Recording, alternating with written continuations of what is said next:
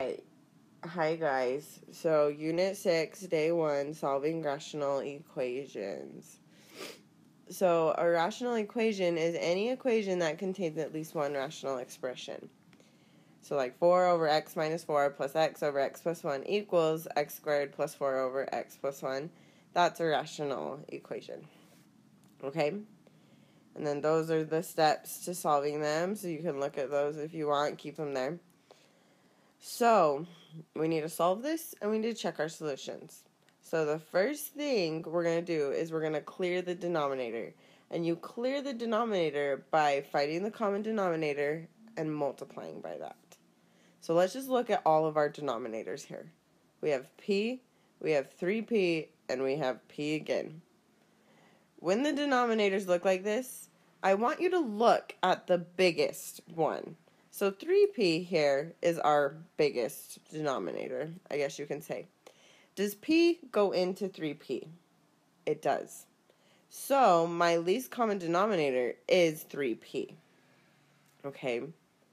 Now I need to state my restrictions. You cannot forget to state restrictions, okay? Remember last unit when we were stating restrictions, we have to remember to continue to do that this unit.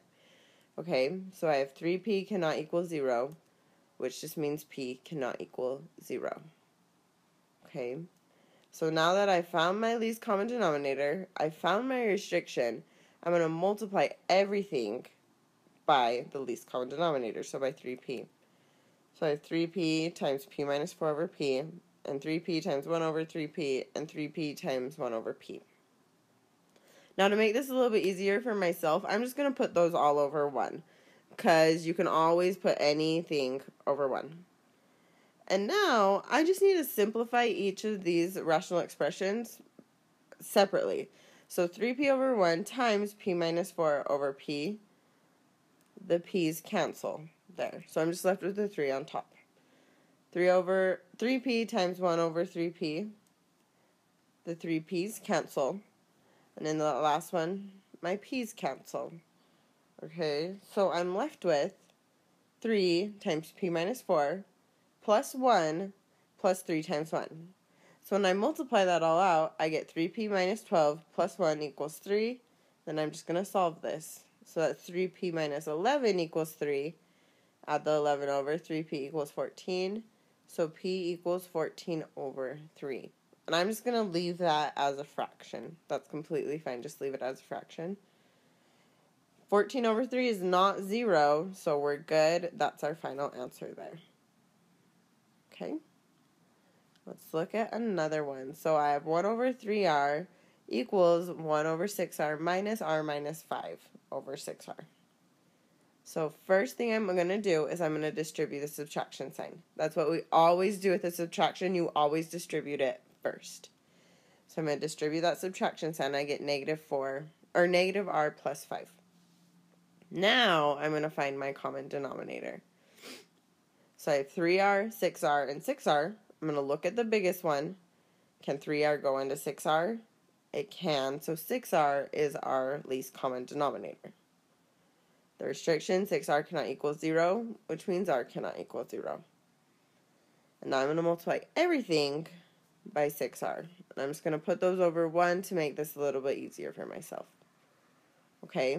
So in that first one, those r's cancel, and 3 goes into 6 twice, so I'm left with a 2 on top. That second one, 6r, cancels with 6r. Last one, our 6r's cancel. So I'm left with 2 times 1 equals 1 plus negative r plus 5. Get rid of those parentheses, you get 2 equals 1 minus r plus 5 which is 2 equals negative r plus 6. Subtract that 6 over, you get negative 4 equals negative r, which means r equals positive 4, because you can divide a negative out of both of those. 4 is not 0, so we're good. That is our final answer there. Okay? Let's do one more. So, First, I need to find my least common denominator. Actually, I'm going to go back real quick. So, that's a subtraction sign. Always distribute that subtraction sign. Okay, don't be like me. Don't forget. So distribute that subtraction sign first. Now I need to find my least common denominator. So I have p squared, 3p squared, and p. So p squared goes into 3p squared. p goes into 3p squared. So 3p squared is my least common denominator. Now I'm going to have 3p squared cannot equal 0, which means p cannot equal 0. And I'm going to multiply that to every single fraction.